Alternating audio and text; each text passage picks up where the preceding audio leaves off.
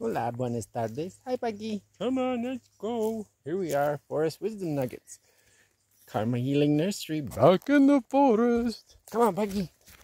Come on. I've got things to get around. that was a good one. there we go.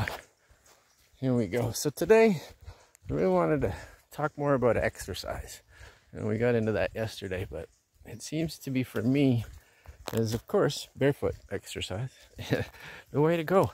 What I realized when I was in Canada is that I saw a lot of people that had a lot of problems, and they're all due to lack of exercise.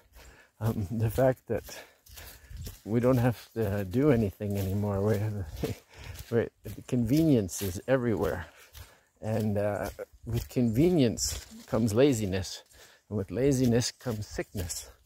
And with sickness comes death. Hey? But with exercise comes smiles, comes fun, and comes nature. You don't need to go to the gym. you just go outside. I, I, when I first got healthy, I started going to the gym and I was running on the treadmill, running on the treadmill, running on the treadmill, and this woman came up to me and she said, "You ever run outside?" I said, "No." Next day I did. I never went back to the gym. I was like, what am I thinking?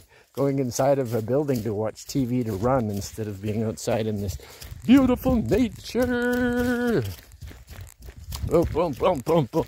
And your body, loves to move. That's what they're made for. Yeah, for fun. That's why we got one, is to adventure. Oh, all right. So that's where we're at that's where we're at.